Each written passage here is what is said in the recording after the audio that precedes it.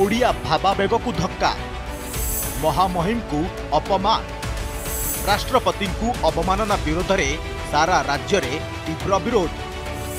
ପଶ୍ଚିମବଙ୍ଗ ମନ୍ତ୍ରୀଙ୍କ ଗିରଫଦାରୀ ପାଇଁ ଜୋର ଧରିଲା ଦାବି।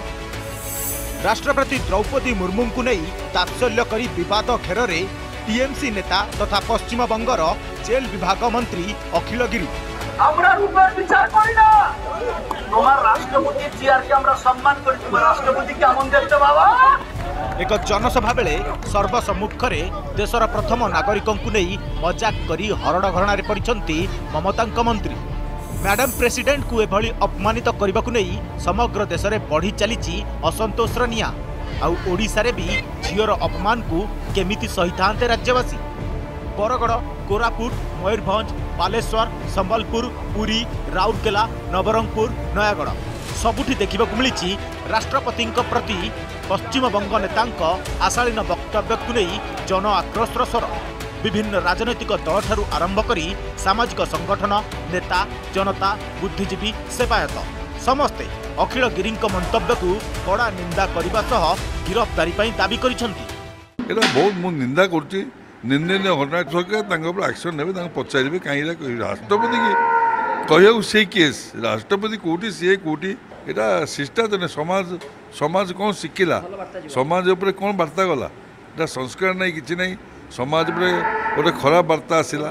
ହେଲେ ତାଙ୍କର ସୁପ୍ରିମ ହେଉଛି ମମତା ମମତା ବାନାର୍ଜୀ ନିଶ୍ଚୟ ମମତା ବାନାର୍ଜୀ ଗିରିକୁ କହିଥିବେ ତାହେଲେ ଯାଇ ସଭା ସମିତିରେ ଆମର ମହାମାନ୍ୟ ରାଷ୍ଟ୍ରପତି ଦ୍ରୌପଦୀ ମୁର୍ମୁଙ୍କୁ ଅପମାନ କରୁଛନ୍ତି। ତୃଣମୂଳ କଂଗ୍ରେସ ମହିଳା ବିରୋଧୀ ଆଦିବାସୀ ବିରୋଧୀ ଦେଶର ସର୍ବୋଚ୍ଚ ସାମ୍ବିଧାନିକ ପଦବୀକୁ ଅପମାନିତ କରିବା ଇଏ କୌଣସି ଗୁଣରେ ଦେଶଦ୍ରୋହଠୁ କମ୍ ନୁହେଁ ବୋଲି ମୁଁ ଅନୁଭବ କରୁଛି ନିଶ୍ଚିତ ଭାବରେ ଏହା ନିନ୍ଦନୀୟ କାହିଁକି ଯେ ଆମର ମହାମହିମ ରାଷ୍ଟ୍ରପତି ତାଙ୍କୁ ଯଦି ଆମେ ଏଇଭଳି ଭାବରେ ମାନେ ତାଚ୍ଛଲ୍ୟ କରି କଥାବାର୍ତ୍ତା କରୁ ନା ମନ୍ତବ୍ୟ ଦେଉ ତାହେଲେ এটা কোন আমার দেশ প্রতি অপমান নুহে কি আমি সমস্তে ওড়িয়া লোক আজ আমি কোণী পার্টি হইপারু কিন্তু ওড়িয়া লোক আজ বহুত ক্ষুব্ধ হয়েছেন পাঁচ কোটি ওড়িয়াঙ্কর আজ আমার দাবি কি মমতা ব্যানার্জী যথাশীঘ্র তাঁর মন্ত্রী অখিল গিরি বরখাস্ত করতু তাঁর বিধে এফআইআর হো আসি আরেস্ট হুম ସେପଟେ ରାଜଧାନୀ ଭୁବନେଶ୍ୱରରେ ମଧ୍ୟ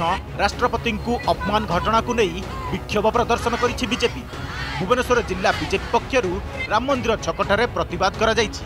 ସେହିପରି ଟିଏମ୍ସି ନେତା ରାଷ୍ଟ୍ରପତିଙ୍କ ପ୍ରତି ଅପମାନ ସୂଚକ ମନ୍ତବ୍ୟ ଦେବା ବିରୋଧରେ କ୍ୟାପିଟାଲ ଥାନାରେ ଏତଲା ମଧ୍ୟ ହୋଇଛି।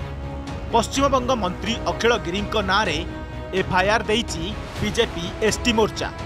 ଅଖିଳ ଗିରିଙ୍କ ଉପରେ ଦୃଢ଼ କାର୍ଯ୍ୟାନୁଷ୍ଠାନ ନେବା ପାଇଁ ଦାବି କରିଛି ଏସ୍ଟି ମୋର୍ଚ୍ଚା। ପାରମ୍ପରିକ ସାନ୍ତାଳୀ ବେଶଭୂଷାରେ ଆସି ଆଦିବାସୀ ମହିଳାମାନେ ଥାନାରେ ଏତଲା ଦାୟର କରିଛନ୍ତି। ଭୁବନେଶ୍ୱର ଜିଲ୍ଲା ଅନୁସୂଚିତ ଜନଜାତି ମୋର୍ଚ୍ଚା ପକ୍ଷରୁ କ୍ୟାପିଟାଲ ଥାନାରେ ଏଫ୍ଆଇଆର୍ ଦିଆଯିବା ସହ ଅଖିଳ ଗିରିଙ୍କ ବିରୋଧରେ ଦୃଢ଼ କାର୍ଯ୍ୟାନୁଷ୍ଠାନ ଦାବି କରିଛନ୍ତି।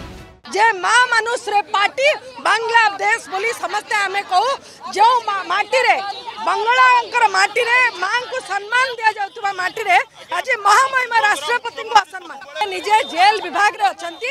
ତାଙ୍କର ଯୋଗ୍ୟତା ନାହିଁ ମନ୍ତ୍ରୀ ହେବାର। ଆମ ଆଦିବାସୀ ସମାଜକୁ ସେ ଏଭଳି ଭାବରେ ହୀନ ମାନେ ହୀନ ଭାବରେ କ'ଣ ଭାବୁଛନ୍ତି? ସମଗ୍ର ଭାରତବର୍ଷ କ'ଣ ଦେଶ ସାରା ତାଙ୍କୁ ସମ୍ମାନିତ କରୁଛନ୍ତି? ମାନେ ସେଥିରେ ପୁଣି ତାଙ୍କର ଦେହକୁ ଯାଉନି ଏଇଆ ହେଇଥିବ ବୋଧେ ମୁଁ ଭାବୁଛି। ଆମର ଏଇ ଡିମାଣ୍ଡ ରହୁଛି ଏଇଆ ଯେ ତାଙ୍କ ବିରୋଧରେ ଦୃଢ଼ ଦୃଢ଼ କାର୍ଯ୍ୟାନୁଷ୍ଠାନ ଗ୍ରହଣ କରାଯାଉ। ସେପଟେ ବିଜେଡି ବିଧାୟିକା ସ୍ନେହାଙ୍ଗିନୀ ଛୁରିଆ ବିଜେଡି ସାଂସଦ ମୁନ୍ନା ଖାନ୍ କଂଗ୍ରେସ ବିଧାୟକ ତାରାପ୍ରସାଦ ବାହିନୀପତି ଏବଂ ସୁରେଶ କୁମାର ରାଉତରାୟ ମଧ୍ୟ ରାଷ୍ଟ୍ରପତିଙ୍କ ଅପମାନକୁ କଡ଼ା ଶବ୍ଦରେ ନିନ୍ଦା କରିଛନ୍ତି। ଯିଏ ଏଇଭଳିଆ ନିନ୍ଦନୀୟ କଥା କହିଛନ୍ତି ନିଶ୍ଚିତ ଭାବରେ ମୁଁ କହିବି ଏଇଟା ରୁଗ୍ଣ ମାନସିକତା ଏବଂ ତାଙ୍କର ମାନସିକତା ନିଶ୍ଚିତ ଭାବରେ ଖରାପ। ଏଇଟା କେବଳ ଗୋଟିଏ ମହାମହିମ ରାଷ୍ଟ୍ରପତିଙ୍କୁ ନୁହଁ ସମଗ୍ର ମହିଳା ସମାଜ ନାରୀ ସମାଜ ପାଇଁ ଏଇଟା ଅପମାନର କଥା ଆମେ ସମସ୍ତେ ମର- ମ- ମର୍ମାହତ ଓଡ଼ିଶାବାସୀ ଭାରତବାସୀ ତାଙ୍କୁ ଯେଉଁ କଟୁବାକ୍ୟ କରାଯାଇଛି କଳା ବୋଲି ମମତା ବାନାର୍ଜୀ ତମେ କ'ଣ ଗୋରା? ତମେ ତାହେଲେ କାହିଁ ମୁଖ୍ୟମନ୍ତ୍ରୀ ଅଛ?